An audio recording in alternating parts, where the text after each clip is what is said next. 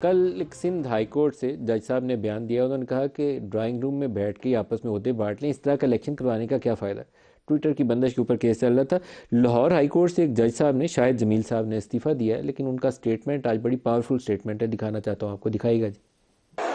मेरा जो इस्तीफा है, ये किसी के एजुटेशन में नहीं है किसी के प्रेशर में नहीं है ये आप कह सकते हैं कि इस निज़ाम के खिलाफ बगावत है एक मैसेज है उन लोगों के लिए जो इस तरह के केसेस कर रहे हैं और जो इस तरह के केसेस में डिसीशन कर रहे हैं, सराफात को ध्यान में रख के कि ये हाई कोर्ट की जजी और ओहदे जो हैं, ये अल्लाह के दिए हुए हैं।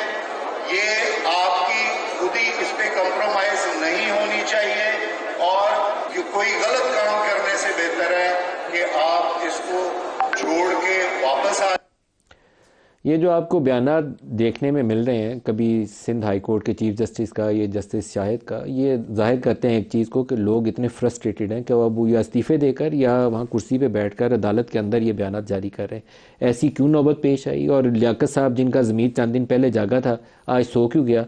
मैं समझने से कासर हूँ कि हम पाकिस्तान को ऐसे इस बहरान से निकाल लेंगे कैसे?